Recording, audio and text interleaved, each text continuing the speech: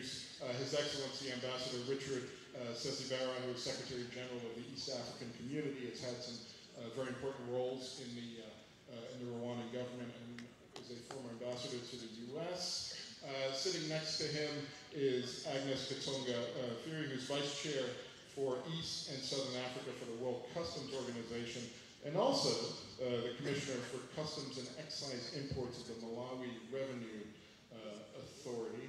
Uh, and uh, next to, uh, down at the end there, we have Stefano Arganese, who is a CEO, CEO of DHL Freight for Central Eastern and Southern Europe, is that right? And as well as uh, uh, Africa, uh, the, the, Middle East and Africa. Uh, sitting closest to me is Jerome Roodenburg, sorry, two seats over is Jerome Roodenburg, who's the tallest man at the conference, if you haven't noticed. Uh, he is the ambassador uh, of the Netherlands in charge of private sector and international cooperation from the Ministry of Foreign Affairs. Sitting next to me is Frank Matsaert, who is, uh, and I'm sure I mispronounced that, Frank, but it, it's right, I'm told. He is, uh, he is the uh, uh CEO of Trademark East Africa, uh, an outfit that is really doing a lot of work to, to try and ease the flow of goods across East Africa.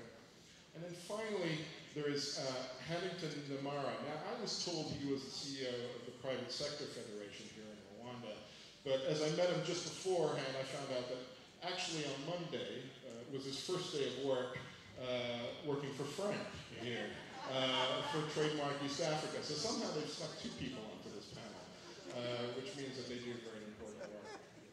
Um, really, I, let's move uh, uh, right ahead. And, and we're going to start off with just some opening statements from our speakers if we have time, and if our speakers keep it short, so please do feel free to, to hiss if they're going on for too uh, we will have a chance to go to the floor. Uh, so really, opening statements of three to five minutes, uh, and then we'll come back for a little bit of a discussion, and hopefully open it to the floor, and then move on to our delicious lunch. Dr. I'd really like to start with you, uh, and uh, just because I'm fascinated really by, by, what's happening here, and we've heard a lot about it uh, this morning in terms of the cooperation between Rwanda, Uganda, and, and Kenya, and, and, their leaderships, and, and the amazing progress that we've seen in a very short period of time. I'd really like you to tell us more about that uh, and just explain to us how you've managed to increase inter-regional trade from 10% of overall trade to 25% of overall trade in the last decade and what it is uh, uh, that you think you're, uh, you're achieving here and, and, hope to achieve. Thank you very much. I, I think my job has been made very easy by both the comments from His Excellency President Kagame and uh, Minister Kanimba.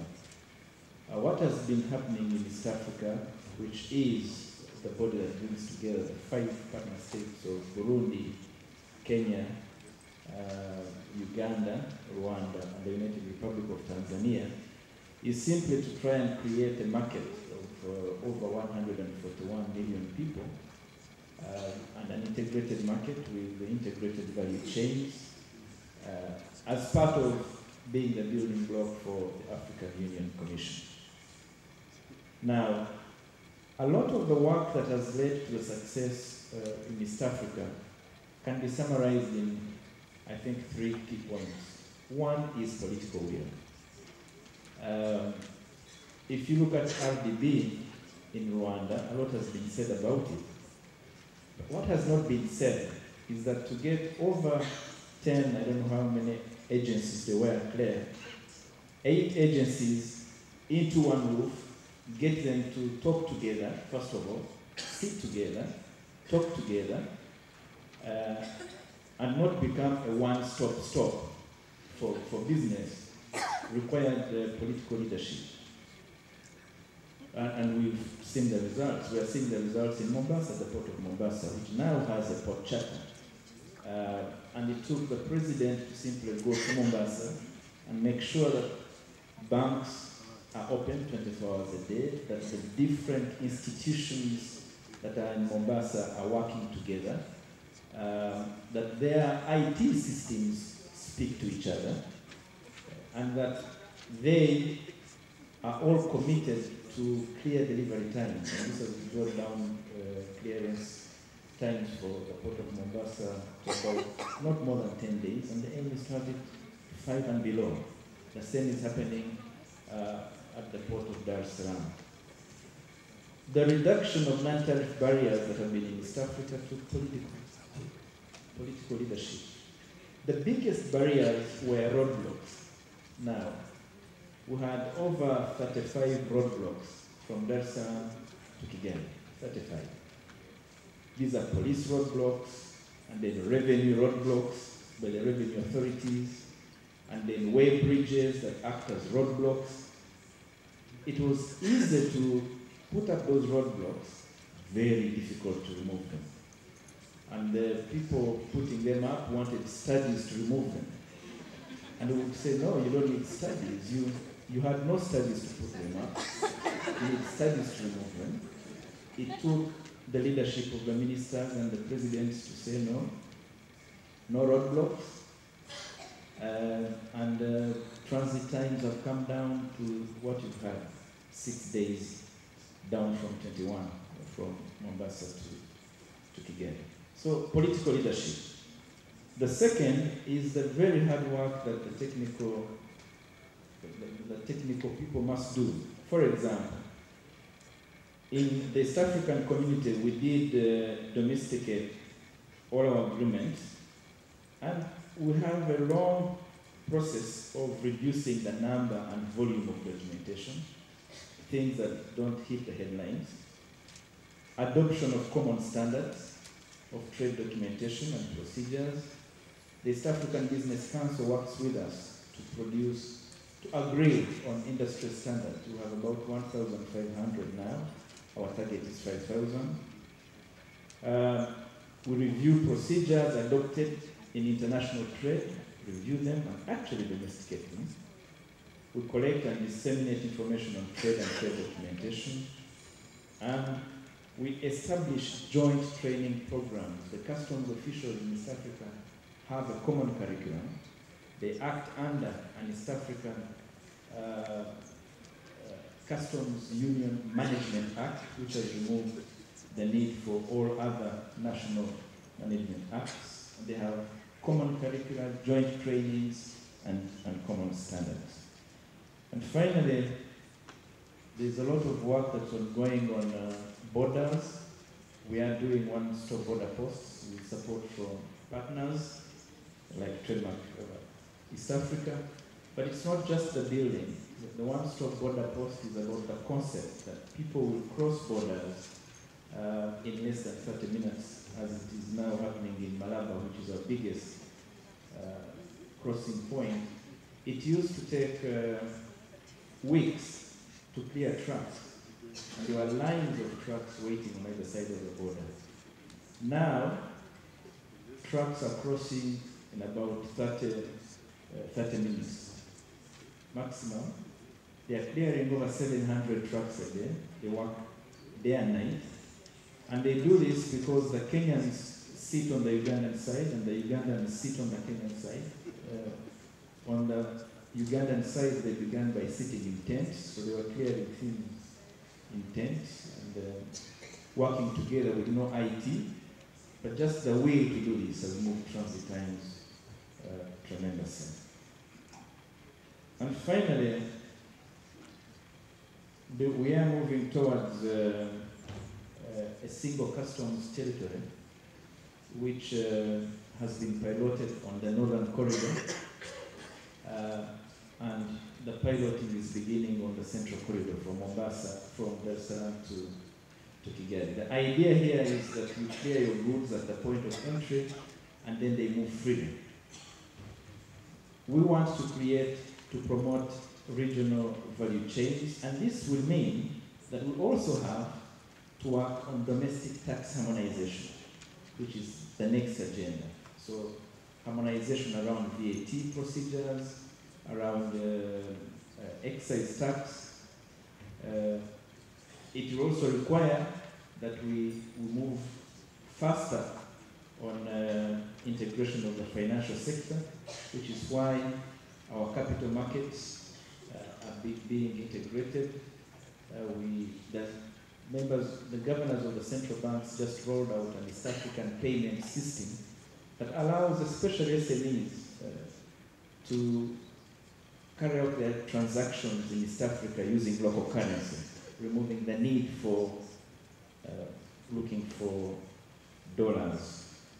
And, and, and this will also require uh, that we, with the advent of mobile money, the next agenda is to have one area network. Business. The WCO, World Customs Organization, has been working on uh, trade facilitation instruments the past several years and has developed so many instruments uh, to ease the doing business and reduce the cost of doing business. I'm not going to detail some of the instruments um, that the WCO has developed. Um, my, the predecessor just talked about some of the instruments, one for border posts, coordinated border management.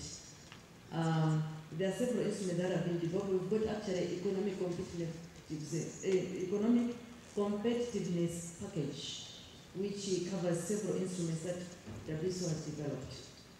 With share information, because for us to move forward now as trade facilitation agreement, there's so much emphasis on cooperation.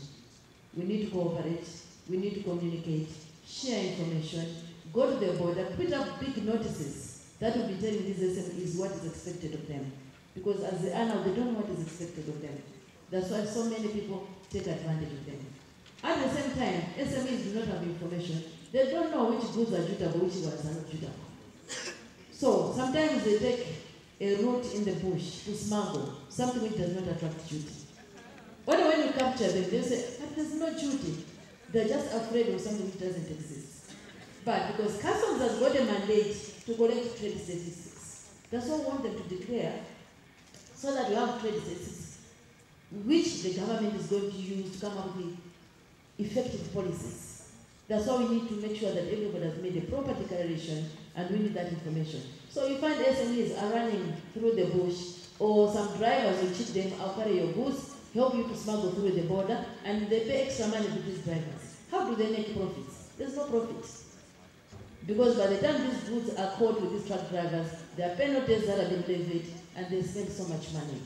So there's a lot that needs to be done to actually improve on cooperation, consultation. Believe it or not, SMEs are moving volumes across the borders.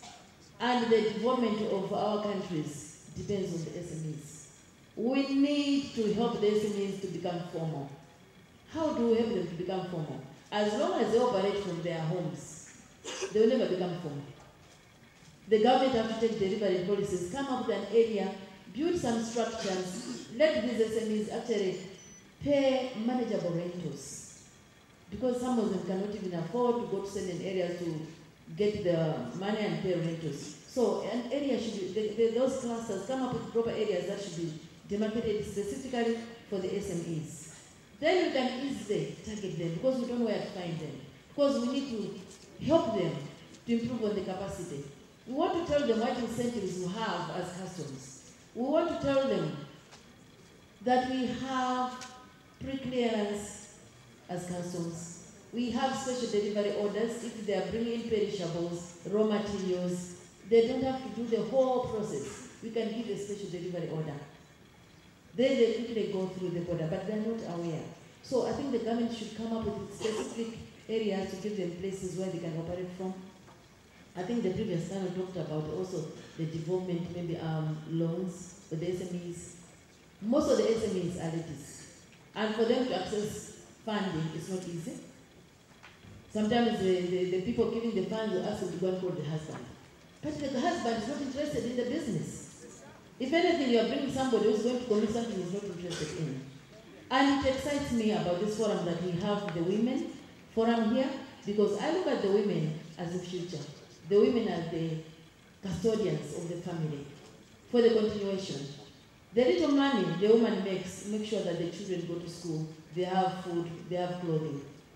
Men uh, can be, my apologies, men.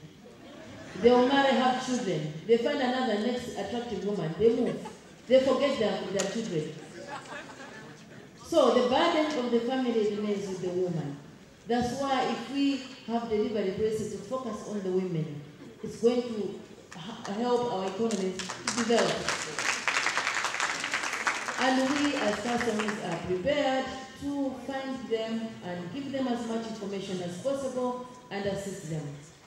At regional level, COMESA SADC, there have been uh, a lot of uh, initiatives to simplify procedures, simplify the forms, and uh, there's also a, a, charter under COMESA for the SMEs, and uh, to help them, and World Bank has joined the, the, the, the, the, the COMESA to actually, actually um, to roll out this charter so that the SMEs can understand how they can be facilitated and something which is very important so that uh, we don't just come up with several fees which the SMEs have to pay. So special policies to really assist them would actually help our countries to develop. It's something that very basic that we need to do, but we're not doing it because there are no drivers. I think the, our president here, Kagame, said it all, that you need that vision and it can be done. And I also want to echo on from the previous and the current previous speaker about the developing the, the, the single territory. It's working. And there's also coalition of the winning, which Kenya is also doing with Rwanda. And in my region, I have Kenya, which is on board. So I'm able to know the developments that are happening there. I think East Africa has gone way ahead compared to, to SADC and COMESA. That's why they didn't have a single tariff which they're using. So we have an example which we can actually borrow and benchmark within uh, Africa and see how we can actually develop and move forward. So it's a matter of saying, let's move all these disconnections. Let's share information. I can't say more about ICT, it's already been said that if you want to do meaningful transformation, ICT connectivity is important. You go to these borders, you see all these agencies. Only customs has modernized agriculture, veterinary, they're still money. And why are they enjoying being at the border? It's because they can get a bribe. Ladies and gentlemen, if we don't fight corruption, we'll move nowhere. I think there's more I can say, but uh, I think I need to actually uh, leave my colleagues to um, maybe cover the well, other areas. We'll come back to you. Yeah, thank you. Um, uh, I, I think I I'm going to turn to you. It's, uh, I think it's, it's your turn to defend the men of Africa. Uh, after the uh, uh, after the last speaker. Uh, no, I, I mean, importantly, feel free to defend men, uh, but I really want to turn to you for, for a view from the private sector. Partly your old hat on, and also your new hat on, which presumably will be focused on helping the private sector kind of navigate through those borders and, and, and ease the path for them that concept that came up in the, in, in, in the last session, uh, which uh, I jotted down immediately because it was very catchy, and we journalists love catchy things, uh, of turning a country known for being landlocked to one that is land-linked. I think that's a fascinating concept, and that really is, is, is, is, something. Tell us a little bit about, about how the private sector here is taking advantage of what's happening and how things are changing. Thank you, Sean. Um, indeed, uh, as Rwanda, uh, from a private sector point of view, being uh, what people used to call landlocked and now what we look at as land-linked, um, was a question, first of all, of mindset, like His Excellency said in the morning, looking at the challenges and opportunities. Um, uh, from the Rwandan point of view, uh, we needed to, uh, from the onset, those who recall the history of Rwanda uh, after 1994, uh, creating a resilient private sector that you know would trade within itself within Rwanda, but also look beyond the borders to tap into opportunities across borders. Um, so it is, it has been a diplomatic change on our side uh, from the point of creating strong institutions that would support that growth or, or that creation of the private sector, resilient private sector, um, and, and then back it up with policies, uh, back it up with uh, uh, policies that support trade and investment. And, that for us has been, uh, from the private sector point of view, has been a key milestone. You would imagine how hard it would have been for, for a Rwandan SME that is largely uh, informal to start thinking about how they you know, go across the border to trade uh, or invest or, or go around things like work permits or go around things like uh, tapping into skills that you need.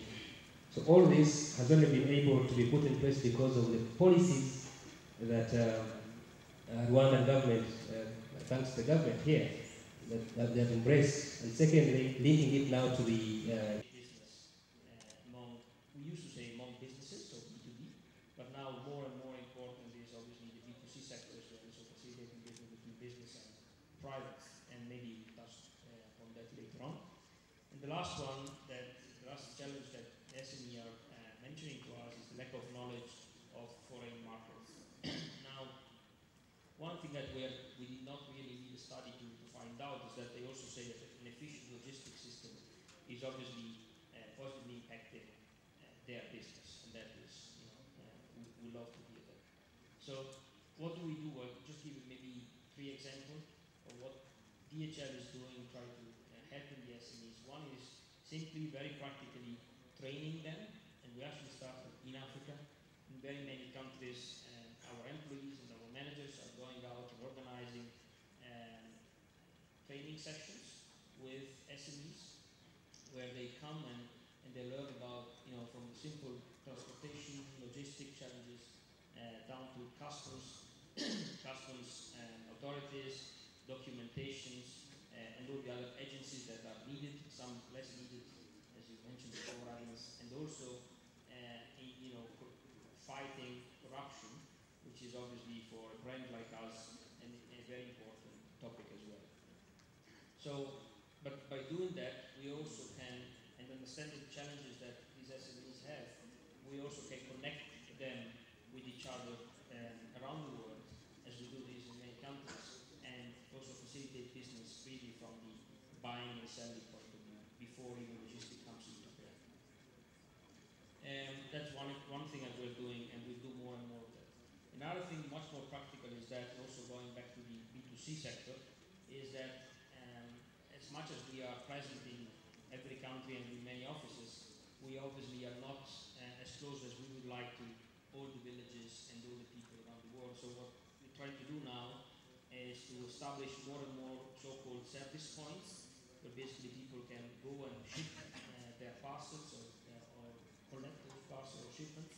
And we've just opened uh, in the last three years in Africa, in Sub-Saharan Africa to be precise. We went up from 300 to 3,300 in the last three years.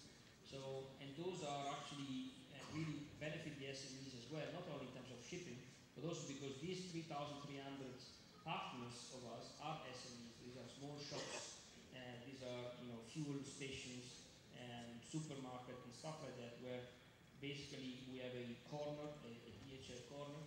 People are getting trained on how to collect, how to accept, or how to deliver a shipment, and they also know uh, you know about the procedures, know, customs, and so on. And actually, they get remunerated for that. They get a commission uh, from DHL. And obviously, another advantage they get is that people are getting into their shop not only for the DHL shipment, but also for buying services or products that they are having in their in their premises. And the last one, but I think the most important example I want to bring is that promoting talents. I think we heard this morning in the introduction that it is so important what people, African people especially, can do for their own continent. And we employ about 500,000 people around the world. And one thing that we really promote a lot is moving people uh, from one country to another, making sure that they get experience uh, everywhere around the world, and then potentially come back to their country, use that experience there. We have very many managers at the moment and executives as well coming from Africa or around the world. Some of them um, are going back to their countries, some are staying, but obviously you can imagine that one of one, one of I don't know one, this person is a manager in, in, a, in a country in Europe or US or wherever. They do very much or as much as they can to facilitate business in their own region. That is another way of helping uh, developing the developing countries as well. Stefano, thank you very much. We're now going to come to the man with the money. Uh, uh, Jeroen Roodenburg, you are, you are here as representative of the donor community, and really, and, and, and I think what's uh, uh, uh, one of the stories that we often hear in terms of, of, of trade facilitation and the discussion of the trade facilitation agreement at a, at a lofty WTO level is that this is something that is proposed and advanced by the, by the, by the rich world, the, the, the EU, and, and, and, so on, that they want to impose it on, uh, on, on, on the developing world and, and, and places like Africa. Uh, I mean, it's clear from, from what we've already heard this morning that that's, that's, that's not the truth. Uh, there's clearly a lot of appetite for it there, but there is this dynamic there. At the same time, there's also, uh, there is a lot of money and, uh, out there, and there's a growing pool of money uh, out there available to help countries uh, uh, implement some, some of these things. Want to just talk a little bit about the trade facilitation agreement and what donors are doing to try and help ease the, the implementation?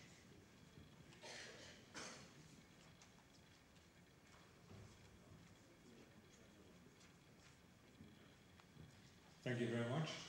Um, I would prefer not to be introduced as a donor, uh, even less now that I've been here for two days uh, as, as before. I mean, we are a development partner uh, for the countries in Africa and other countries, uh, because that's the way we want to go about it. I'm representing our minister, Lilianne Ploumen. She's the Minister for Foreign Trade and Development Cooperation. I think you would agree with me that's a rather rare combination uh, to be seen in, uh, in development partner countries. Uh, but we believe it's the right combination because, as was said yesterday, uh, trade works for development. And that's why we have a minister who combines the two portfolios. Uh, let me just briefly try to explain in order to allow for, uh, for questions and discussion uh, how we go about it. A large part of our budget is dedicated towards uh, private sector development. So, as a country that depends largely on trade, on investment, with an open economy, with SMEs who are the backbone of our economy. Uh, we understand how important it is to build the infrastructure for trade and investment. So that's also what we try to do when we uh, assist developing uh, countries uh, in building their own infrastructure. So a large part of our budget goes to the enabling environment, which means we help to assist build infrastructure, access to finance, provide knowledge and skills and where we can, we work together with Dutch companies. So we have targeted sectors in which we can offer technology and knowledge, water, uh, food security, the agricultural sector, logistics. Those are sectors that we have built our economy, our own economy on. So we try to provide this assistance uh, also to uh, developing countries. Trade facilitation, the agreement, I really hope that it will be possible to get the agreement back on track because we believe uh, it will um, enable developing countries uh, to profit more from uh, global supply chains. And uh, I think that the OECD has shown that uh, developing countries stand to gain most uh, of the trade facility agreement. Um, as you said before, we are already supporting trade facilitation in various ways we support the World Bank uh, Trade Facilitation Facility. Uh, we support um, Trade East Africa. Uh, we also support CBI. There's a representative in this room, which helps through capacity building the exports from developing countries to the EU. And I think through those interventions, we try to facilitate trade. But if the trade uh, facilitation agreement uh, comes along, and there will be a trade facilitation uh, facility, as was proposed by the Director General, the WTO uh, DG, uh, will be uh, very positive and actively looking to support that as well. The enabling environment that I mentioned before is the second uh, pillar of our private sector development program. Um, we will we have launched uh, the Dutch Good Growth Fund. Uh, it will be explained in more detail by one of my colleagues in a parallel session. This fund provides access to finance for SMEs in uh, developing countries, SMEs who want to invest. And uh, access to finance is one of the obstacles. It was explained this morning, and we try to do our bit by uh, launching this. My last point uh, that I want uh, to make is the importance of public-private partnerships. Um, uh, as I said, the combination of aid and trade works, and if we want to make sure that the growth is inclusive, the growth in developing countries, we need to work together with the private sector, the Dutch private sector as well. And one initiative we would like to highlight is the Sustainable Trade Initiative, where we go down the supply chain uh, all the way to the smallholder farmer and make sure that through investment by the buyers and the traders and uh, with us matching uh, the investment, they stand to gain as well uh, from trade uh, and um, investment. Thank thank you. My apologies for, uh, uh, for, for, for uh, calling you a donor. From now on, I will consider you a partner.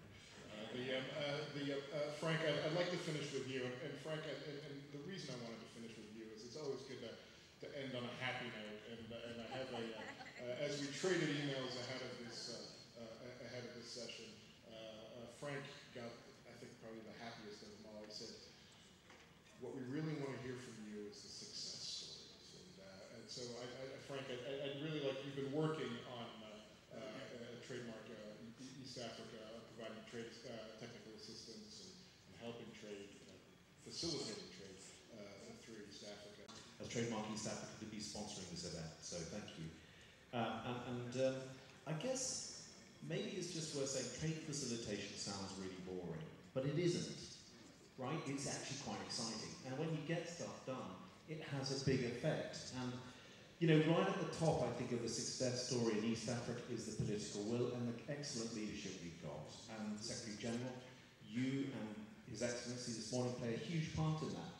The quiet revolution that's gone on in trade in East Africa should be recognised. Getting, halving the time to get trade from the port of entry to Kigali is a huge achievement.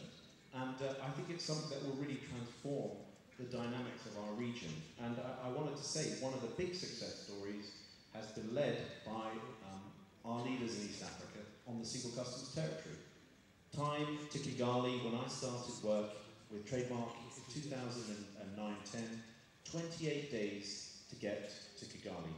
And now, depending on the metric, you could say it's as low as six. And that really is a huge achievement, isn't it?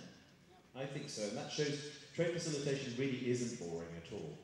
But what other success stories has, has there been? I mean, I, I must say, as Trademark, we're really delighted to work with partners all around the region, and great things have happened. Here in Rwanda, working with the Rwanda Revenue Authority, um, the new um, electronic single window has reduced clearance times um, hugely from around three or four days to less than 20 hours, I understand.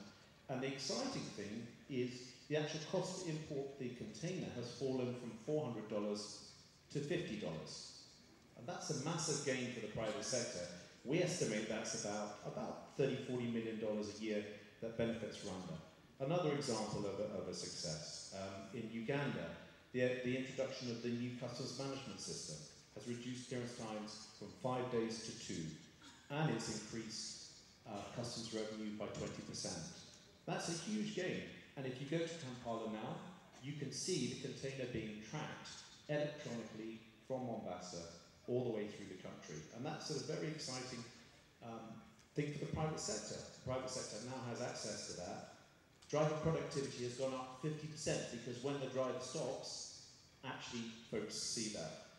I think um, another, the third example of something that's really worked well is in Burundi. And in Burundi, we've been working, I must say, with the, the new revenue authority there to help set it up. And that has resulted in doubling the revenues of the country in three years, about an additional $400 million for, on the back of an investment of around $15 million on our part. A huge, huge gain, I think, for, for Burundi. And we worked and followed the money. That's about 40,000 people a month that get access to healthcare now through own domestic resources that didn't before. Now, those are good, three good examples, but I think you asked me to think about what are the next ones. Um, well, I think um, there's huge gains to be seen, particularly for small traders. And I'm excited with our team and stakeholders around the region to really think about how can we reduce the huge burdens and, and, and hurdles that small traders face, particularly women at borders. And we're very excited about the potential to actually stop harassment at the borders and scale up some of the, the early successes uh, that we've been doing at Busia, Mutukula, and Gatuna. I think the second is really something that was kicked off and, and Secretary General mentioned, a reform charter to halve the time through the port of Mombasa and Dar es Salaam. And to me, delivering that um, for Rwanda could be one of the biggest gains for this country, and I think that that's very much within reach. And finally, I think maybe the third thing to look ahead to is actually thinking about how the private sector can really get involved in all of this and I think one of the things we're very excited about with our partnership with the East African Business Council is really getting the private sector voice fully into the whole regional integration and trade uh, agenda. I think there's been a lot of success with the roundtables that the uh, Secretary General's um, been chairing. But I think there's a lot more to do, particularly around standards and getting trade moving. And uh, I really do think that East Africa's on the move. And there's a lot of exciting developments that are going on and a lot more to do. Thank you very much, Frank, uh, and uh, thank you all uh, speakers. Unfortunately, we have come to the end of our, our, our session here, so uh, just as a, there's a lot of exciting Uh, movement happening in, uh, in, in, East Africa now, there's a lot more exciting movement to happen within this uh, hotel complex in the next few hours. I've been asked to, to, to just make a couple of logistical announcements uh, before we go to lunch, which is waiting for us just downstairs and outside. To get to lunch, you go out the back doors and you take a left and you'll find uh, seats for us in a, in, in a tent outside. Uh, the first set of, of WEDF parallel sessions will start at 2.30 uh, this afternoon. Uh, the session on growing SMEs through impact investment will take place in this room. Uh, this session is supported by Trademark East Africa. Thank you very much, Mark. Uh, the, um, uh, the session entitled Sustainability Standards from Barrier to Opportunity will be held in the session tent. That's on the other side of the restaurant tent. That's the one to go to if you have a big lunch. Uh, the, um, um, and the session on e-solutions for SME export growth will take place, uh, sorry, and then they will be followed by second set at 4 o'clock. The session on e-solutions for SME export growth will take place in this room and the one on spurring innovation through SME incubators will be in the tent. Those will all wrap, wrap up by 6 o'clock. There are, of course, buyer mentor group meetings that are going to be taking place uh, for the coffee sector. Those start at, at, at 4.30. Uh, they are going to be, and also for the services sector. The coffee sector is in the auditorium directly underneath us. The services sector is next is in the meeting room next to the hotel's swimming pool. You can catch a swim as well if you want. Uh, and then tonight, uh, we have, of course, the big party. Uh, the conference dinner starts at 7 p.m. in the tent where, where, where you will have had lunch. Uh, there is going to be entertainment. Uh, there will also be a handicrafts exhibition. It's a good place to get a gift to bring home to your family. Um, and there will be plenty of seating. The, also, the good news is that the dress code for dinner tonight is casual. Um, the, and that we will have, uh, after that, we'll have buses to the hotel that leave at 9.15 and 10.15 from outside the registration area. And just one last thing. Now, some of you dropped phones at the registration desk uh, as you came in this morning, and they've got a big bag of phones down there that they don't know what to do with. Please go pick them up. Um, uh, if not, they'll end up uh, on the uh, next truck to Mombasa and shipped back out uh, to Europe as part of Great Export Strategy. Uh, listen, thank you so much for your time. Thank you for your patience. Uh, go ahead and, and, and enjoy lunch. Oh, there's just one last thing. There's a beautiful earring here that someone has lost. The man in the room who lost his beautiful earring can come find me. Thank you again, and thank you for our speakers.